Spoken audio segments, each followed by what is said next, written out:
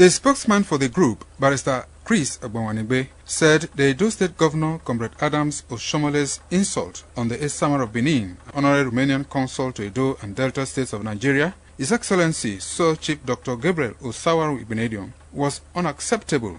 Barrister Agbawanigbe said the Esama, a pioneer investor in several productive sectors, is highly respected all over the world and does not deserve the insult meted on him by Governor Oshomole. In these last two outings, he took time off to insult Chief Igbenedion, the Esama of and his son, Chief Lucky Igbenedion, his predecessor in office. What did Igbenedion do to warrant this unprovoked attack? Is it because they helped him to power? Are there no rich men in other parts of Nigeria? Do their governors go insulting them? Persons of Igbenedion status in other states are celebrated and honored. Barrister Chris Ogbawanigbe said for Governor Oshiomhole to have promulgated a law targeted on the Esama and his estate was the height of hatred for a man who has done so much for the society than any single individual. He appeared to have designed a holy agenda to take the Benin to the cleaners. When he came on board about seven years ago, he launched an unwarranted war attack on Dr. Eso Bebudia.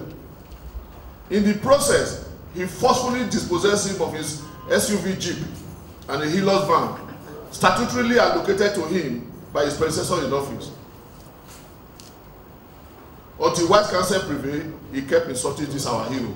Some members of the group also condemned the governor's action, describing it as unbecoming of a governor. This time around, we can no longer condone the governor excesses, his reckless remark on personalities and people that voted him into power. We can no longer take it.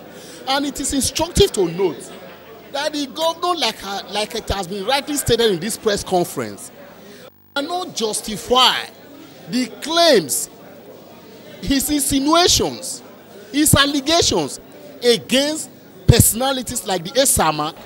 does not know what traditional institution means and that's why he can insult anybody he can he can he can behave the way he's behaving now.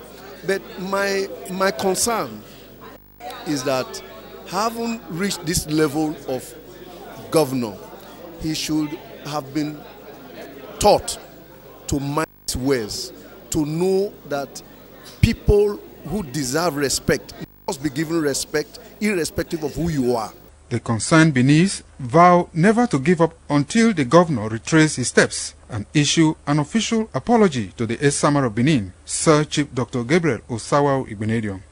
Pius Nsogo reporting.